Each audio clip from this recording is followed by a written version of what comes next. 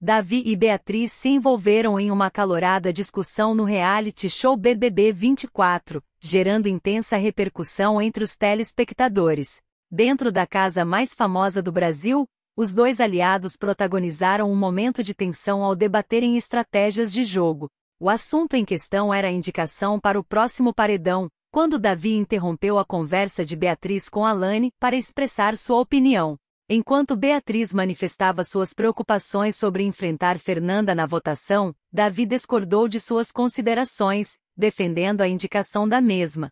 Ele argumentou que seguir a estratégia previamente estabelecida era crucial, enfatizando a importância de não agir impulsivamente. A dinâmica do jogo mudou quando Pitel conquistou a liderança e colocou Beatriz e Mateus como alvos potenciais. Contudo, Mateus garantiu imunidade ao vencer a prova do anjo, deixando Beatriz diretamente na mira do paredão. Embora ela preferisse não enfrentar Fernanda, Davi e a maioria dos aliados insistiam na indicação da mesma. Durante a discussão, Davi também abordou a situação de Giovanna, destacando suas limitações devido a uma lesão. Beatriz, por sua vez, criticou Davi por interpretar erroneamente suas palavras, gerando ainda mais tensão entre eles.